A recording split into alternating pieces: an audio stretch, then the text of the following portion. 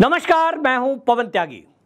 उत्तर प्रदेश में ढाबे और फल विक्रेताओं को जो ये आदेश दिया गया है योगी आदित्यनाथ के द्वारा कि वो सभी अपनी दुकानों के आगे, दुकान के मालिक का नाम लिखें। योगी आदित्यनाथ के इस कदम की आपको बता दूँ, मुस्लिम कम्युनिटी ने भी प्रशंसा की है और मुस्लिम कम्युनिटी के अब जो है ऑल इंडिया मुस्लिम जमात के राष्ट्रीय अध्यक्ष मौलाना शहाबुद्दीन रजवी बरेलवी ने कहा कि कांवड़ यात्रा के मार्ग पर ढाबा संचालक, फल विक्रेता और अन्य स्टॉल के मालिक के लिए सहारनपुर ने जो एडवाइजरी जारी की है, इस पर राजनीति नहीं होनी चाहिए। ऑल इंडिया मुस्लिम जमात के राष्ट्रीय अध्यक्ष बोल रहे हैं।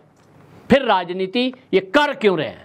इस पर देश में जिस तरह की सियासत हो रही है, उस सियासत में प्रियंका गांधी वाड्रा और उसके समेत पूरा विपक्ष इसको मुद्दा बनाने में लगा हुआ है। आपको यह जान के आश्चर्य होगा कि यह कानून मनमोहन सिंह जब केंद्र में प्रधानमंत्री थे, उस समय कांग्रेस की सरकार ने 2011 में इस पर कानून बनाया था और यह कानून दुनिया के सभी देशों में लागू है। फ़ूड सेफ्टी कानून, ये ऐसा कोई देश नहीं है जहाँ उसके बारे में ये ना कहा गया हो कि जो भी खाद्य पदार्थ हैं, उससे जुड़ी जो भी इंडस्ट्री है, वो बाकायदा लाइसेंस का सर्टिफिकेट उस पर बाकायदा फ़ोटो और मालिक का नाम, ये हर जगह आपको मिलेगा। और इसी तरह से फ़ूड सेफ्टी एक्ट जो बनाया गया था कांग्रेस की सरकार में, ये 2009 में उत्तर प्रदेश सरकार में जब मुलायम सिंह यादव मुख्यमंत्री थे उत्तर प्रदेश के, उन्होंने ये उत्तर प्रदेश की विधानसभा से प्रस्ताव पास करके इस कानून को लागू किया था। आज योगी आदित्यनाथ केवल इतना कर रहे हैं कि जिन राज्यों से शिव भक्त कांवड़िए होकर गुजरने वाले हैं, क्योंकि पिछले कई वर्षों से यह शिकायत आ रही थी कि कांवड़िए जिस रास्ते से गुजरते हैं, उस रास्ते पर पड़ने वाले ढाबे, होटल, चाय बनाने वाले और फल विक्रेता, ये अन्य समाज के लोग होते हैं, यानी मुस्लिम लोग हैं, हिंदू नाम से ढाबे खोले हुए हैं, शुद्ध वैष्णव लिखा हुआ है, शुद्ध वैष्णव ढाबे का मतलब होता है जहाँ प्याज और लहसुन का भी इस्तेमाल ना होता हो, ऐसे ढाबे। और वहाँ यदि कोई शिव कांवड़िया रुकता है, शिव भक्त रुकता है, जो कि व्रत और उपवास दो दो महीने तक के भी लोग ऐसे हैं जो करते हैं। क्योंकि पिछले साल दो महीने के लिए सावन आया था, दो महीने का अंतराल था। तो आप सोचिए कि ऐसी कड़ी तपस्या करने वाले अगर कहीं अशुद्ध खाना खाएँगे तो उनका जो उपवास है, वो खंडित हो जाएगा। और इसके कारण से शुद्धता खंडित ना हो उत्तर प्रदेश शासन को ये शिव भक्तों की तरफ़ से कहा गया कि भाई, अगर ऐसी एक व्यवस्था हो जाए कि जो भी कांवड़ियों के रास्ते हैं होकर गुजरने वाले, इन पर जो छदम नाम से होटल, रेस्टोरेंट खोले हुए हैं, उनके मालिकों का असली नाम पता लग जाए। हमारी मर्ज़ी है, हम खाएँगे, हमारी मर्ज़ी है, हम नहीं खाएँगे। और सबसे बड़ी बात यह केवल शिव भक्तों के लिए है कि भाई, उनको पता हो, आम आदमी तो खाता ही है, लेकिन इस पर विवाद बनाया जा रहा है। विपक्ष इसको ये कह रहा है कि ये तो संविधान की हत्या हो रही है। ये विपक्षी पार्टियों ने संविधान की हत्या शब्द ऐसा रट लिया कि इनकी हर बात में संविधान की हत्या हो जाती है। लेकिन सवाल यह है कि जब लगातार देश के अंदर से ऐसी ऐसी वीडियो आ रही हैं कि कहीं कोई थूक रहा है, कहीं कोई पेशाब कर रहा है, कहीं कहीं गोमांस मिलाया जा रहा है भोजन में, और अगर इनसे बात करें तो टीवी डिबेट में, मैंने खुद सुना है अमिताभ श्रीवास्तव की डिबेट में वो कोई एक मौलाना थे, वो कह रहे थे, ये हमारे धर्म का मामला है। इसमें आप बीच में ना बोलिए। मतलब आप सोचिए, इनके लिए ये धर्म का मामला है। मुजफ्फरनगर की एक महिला, मुस्लिम महिला का वीडियो वायरल हो रहा है, जो ये बता रही है कि जो सिया है, वो सिया कम्युनिटी के लोगों में भोजन पर थूकना, ये उनका धर्म का काम है और इसलिए वो भोजन में थूकते हैं। वो कहती है कि हम सुन्नी हैं, हम भी उनका भोजन नहीं खाते। तब एक हिंदू और वो भी शिव भक्त जब वो उपवास रखे हुए हो किसी के थूके हुए भोजन को कैसे खा ले? चाय में थूक दिया, भोजन में थूक दिया, और आप अपने धर्म का पालन कर रहे हैं, लेकिन दूसरे के धर्म की जो भावना है, उससे आप खिलवाड़ कर रहे हैं, उसको आप अपवित्र कर रहे हैं, ये कोई कैसे सहन कर लेगा? योगी आदित्यनाथ के इस आदेश को लेकर के जिस तरह से उनको ट्रोल किया जाने लगा, इसमें जुबैर कूदा, इसमें उवैसी कूदा, इसमें आयसा खानम आइफा खानम कूदी, और सब लोग ऐसा घेरने लगे कि देखिए, ये तो हिंदू मुस्लिम में देश को बांटने की बात हो रही है। भाई, इसमें हिंदू मुस्लिम कहाँ से बटेगा?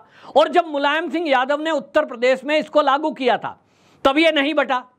2009 में। फिर जब 2011 में मनमोहन सिंह की केंद्र की सरकार थी, उसने ये लागू किया, तब देश का बंटवारा नहीं हुआ हिंदू मुस्लिम में।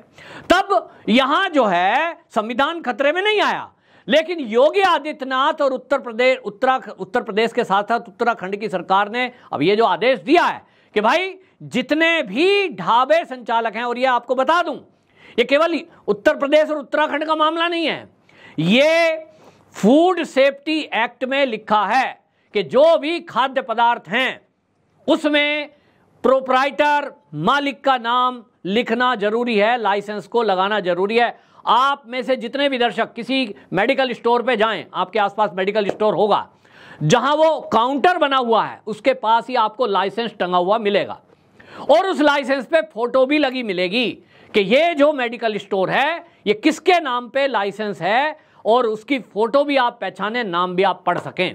मेडिकल स्टोर का नाम कुछ भी हो, national medicos, Jai medicos, Mata medicos, कुछ भी रख लीजिए।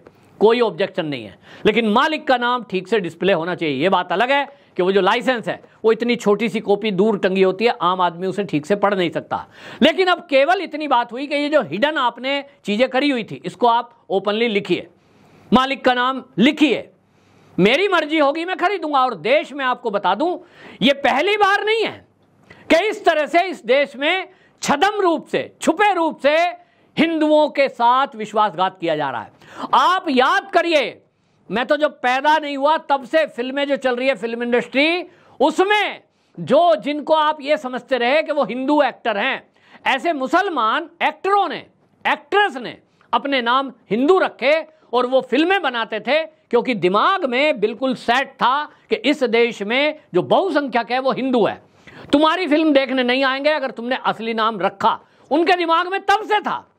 और इसीलिए उन्होंने अपने नाम बदले और मुसलमान एक्टर और एक्ट्रेस ने, लंबी लिस्ट है, मैं किस किस का नाम लूँगा? आप गूगल कर लीजिए। और आपको पता चलेगा कि जिन नामी ग्रामी एक्टर और एक्ट्रेस को आज आप तक, अभी तक आप हिंदू समझ रहे थे, वो तो मुसलमान थे। और उन्होंने बाकायदा ये एक योजनाबद्ध तरीके से काम किया, क्योंकि वो जानते थे कि देश में बहुसंख्यक हिंदू हैं, इनके बीच में अगर व्यापार करना है तो आपको हिंदू नाम से व्यापार करना पड़ेगा। और उन्होंने किया। तो फ़िल्म देखने के लिए मैं भी गया हूँ, और मैं तो तब भी गया हूँ जब शाहरुख खान की फ़िल्म थी। मैं तब भी गया हूँ जब आमिर खान की फ़िल्म थी। मैं तब भी गया जब सलमान खान की फ़िल्म थी, और पोस्टर में भी नाम उनका था, और असली नाम मैं पहचानता भी था। क्यों गया? क्योंकि मुझे मनोरंजन करना है। तो मनोरंजन में मुझे जो एक्टर बढ़िया काम करेगा, वो मुझे पसंद है। आपको बता रहा हूँ, मेरी पसंदीदा सरफरोज फ़िल्म से मुझे आमिर खान की एक्टिंग बहुत अच्छी लगी। और आपने देखा थ्री इडियट्स वो मुझे बहुत अच्छी लगी। और मैं देखने गया, परिवार को दिखाया। इसमें क्योंकि मेरी भावना आहत नहीं हो रही, मेरे साथ शुद्धि अशुद्धि का मामला नहीं है, मैं केवल मनोरंजन करने जा रहा हूँ, मैं कपड़े खरीदने जा रहा हूँ तो मेरे पड़ोस अड़ोस में जो मुस्लिम दुकानदार हैं, उनसे मुझे कपड़े खरीदने में कभी दिक्कत नहीं हुई। मेरे घर में जो बढ़ई का काम करने आता है, वो मुसलमान है, मेरे यहाँ जो कोई भी ऐसा काम करने आता है मिस्त्री का, मुझे उससे कोई दिक्कत नहीं है, क्योंकि यहाँ मेरी शुद्धि और अशुद्धि का मामला नहीं है। लेकिन जब मामला खाने का आ जाए, तब खाने के मामले में मैं एक उल्टा सवाल आज पूछ रहा हूँ। हो सकता है इसको लेकर कोई विवाद पैदा हो जाए, और इसलिए पहले ही आपको क्षमा मांगते हुए मैं ये पूछ रहा हूँ कि यदि कोई व्यक्ति अगर अपना नाम लिखे, मैं ऐसा वाल्मीकि वाल्मीकि समाज के लोग हैं, क्या आप उनकी दुकान से अपने खाने का सामान खरीदेंगे? ये सवाल मुसलमानों के लिए बड़ा विचलित करने वाला हो सकता है। यानी मतलब संभव ही नहीं है। लेकिन आप हिंदुओं से ये उम्मीद करेंगे कि आप हिंदुओं के साथ कुछ भी करें। आप उनके खाने पे थूकें, आप उनकी रोटियों पे थूकें, आप उनके भोजन पर कुछ भी उल्टा सीधा कर दें, जैसे कि पेशाब करते हुए वीडियो आई है, कहीं नाली में धोते हुए वीडियो आई है, और वो ये भी जानने का उनका अधिकार नहीं है, जो कि कानून ने दिया है। हमारे देश के कानून ने ये अधिकार दिया है, और वो सबको है, कि आप जो खाने का सामान जिस दुकान से ले रहे हैं, वो जो खाना बनाने वाला है, वो कानून भारतीय जनता पार्टी की सरकारों ने नहीं बनाया। केंद्र में कांग्रेस की सरकार थी, तब वो बना। उत्तर प्रदेश में मुलायम की सरकार थी, तब वो बना। लेकिन जब भारतीय जनता पार्टी की सरकार चाहे राज्य में हो, चाहे केंद्र में, यदि कोई भी काम करेगी यह विपक्ष का एक आदत बन चुकी है और बहुत सारे लिबरल्स की आदत बन चुकी है कि उनको हर बात में विरोध करना है। भारतीय जनता पार्टी को हिंदू मुस्लिम के चश्मे से देखना है और उसको कटकड़े में खड़ा करना है। ठीक यही हो रहा है। योगी आदित्यनाथ ने केवल इस मामले में इतना किया है कि कांवड़ मार्ग पर पड़ने वाली दुकान, फल सब्ज़ी विक्रेता वो अपने नाम का डिस्प्ले करें। छदम नाम से आप यदि सब्ज़ी फल बेच रहे हैं, किसी वहाँ उपवास करने वाले की शिव भक्ति, यदि भक्ति में खलल पड़ता है, उसकी भक्ति भंग होती है, आपके झूठे या अशुद्धि खाने से तो फिर वो महापाप हो जाता है और उसी से बचाने के लिए योगी सरकार का ये कदम है। बेहतरीन कदम है, लेकिन जिस तरह से विपक्षी पार्टियाँ और अब विपक्षी नहीं, अब तो मैंने देखा है केसी त्यागी जो जेडीयू के प्रवक्ता हैं, उनका बयान आ गया, वो इसे गलत बता रहे हैं। जो जयंत चौधरी हैं, उनका बयान आ गया, मुझे समझ नहीं आ रहा। आप एनडीए का हिस्सा हैं और आपको इतने विद्वान व्यक्ति होने के बावजूद कि भैया आप जो है, अगर इतने पढ़े लिखे हैं और एनडीए का हिस्सा है, कम से कम ये तो जान लेते कि ये मामला क्या है। मामला केवल कांवड़ का नहीं है, मामला केवल छुपकर आप बिज़नेस करना चाहते हैं, आप ओपनली बिज़नेस करिए ना। मैं इस वीडियो के माध्यम से मध्य प्रदेश के मुख्यमंत्री को भी बताना चाहता हूँ, और जानकारी में उनके होगा ही, क्योंकि वो बहुत एक्टिव हैं, मोहन जी। उज्जैन के अंदर मंदिर के आसपास, जो महाकाल जी का मंदिर है, उसके आसपास आप देखें। पिछहत्तर परसेंट रेस्टोरेंट और होटल मुसलमानों के हैं। किसी का नाम उसका महाकाल लिखा है। किसी का नाम उसमें मैंने देखा है कि कुछ और हिंदू देवी देवताओं के नाम पर लिखा है। किसी को कोई दिक्कत नहीं है, क्योंकि वहाँ रात को स्टे करना है। सोना है। चादर में हिंदू मुस्लिम नहीं होता, कमरे में हिंदू मुस्लिम नहीं होता। और कभी उसमें ना तो शिवराज सिंह चौहान ने उस पर कोई दिक्कत की, अब मोहन यादव हैं, इस पर भी कोई दिक्कत नहीं की। लेकिन हाँ खाने के जो रेस्टोरेंट हैं, उस पर ज़रूर जहाँ जहाँ भारतीय जनता पार्टी की सरकार है और अब तो केंद्र का ये कानून है। मैं तो कहता हूँ केंद्र को इस पर संज्ञान लेना चाहिए। कानून पहले से है, लेकिन इसका पूरे देश में इंप्लीमेंट नहीं हो रहा है।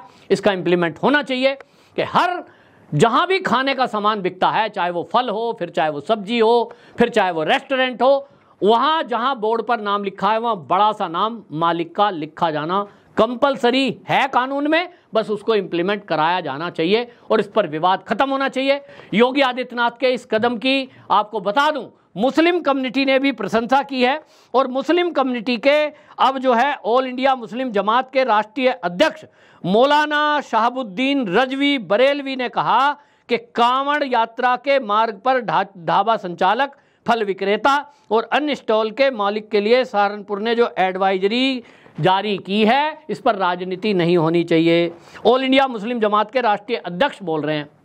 फिर राजनीति ये कर क्यों रहे हैं? मुस्लिम तुष्टिकरण के कारण क्यों ये चाहते हैं कि हिंदू, जो एक उपवास के समय में है, शिव भक्त है, वो किसी का झूठा थूका हुआ भोजन खाए? इस पर मैं इन विपक्षी पार्टियों को भी कहना चाहता हूँ कि आपकी मनसा ऐसी क्यों है कि आप हिंदुओं को किसी का थूका हुआ और किसी का मुता हुआ खिलाने को तैयार हैं?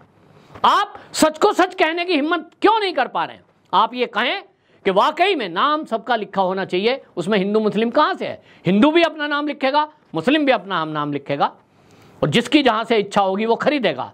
मैं भी खरीदता हूँ, आप में से बहुत सारे लोग खरीदते होंगे, लेकिन जब हम व्रत रखते हैं, उपवास रखते हैं, भक्ति करते हैं तो शुद्धता का ध्यान रखते हैं, और उस समय कई हिंदू हिंदू की दुकान से भी नहीं खरीदते, बाहर का खाना भी नहीं खाते मैं ऐसे बहुत सारे लोगों को जानता हूँ, नवरात्र में मेरे कोई मित्र हैं, मेरे साथ यात्रा पे थे।